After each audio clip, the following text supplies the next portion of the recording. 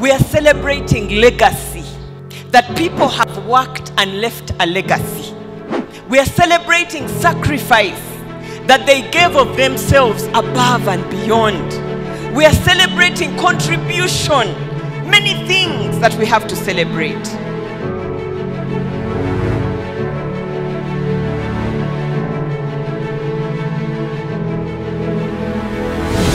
I would like to thank the URA management team for growing me, for that support for over 27 years. The time that I worked with HR is the time when I grew into the person that you see today. Developments have happened because I worked with a great team. I would like to thank the research and planning and development team. Thank you, thank you so much, RPD.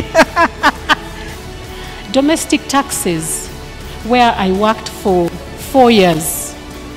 I must say, the biggest part of shaping into leadership was done into domestic taxes. Um, I thank the entire URA staff body who equally contributed to my successful tour of duty.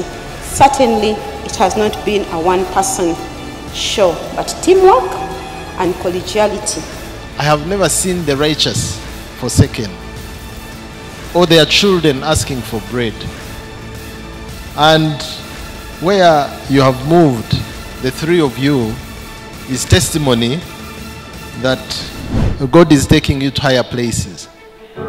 And what you have done is not just for yourselves, but for the generations after you. Uganda Revenue Authority, developing Uganda together.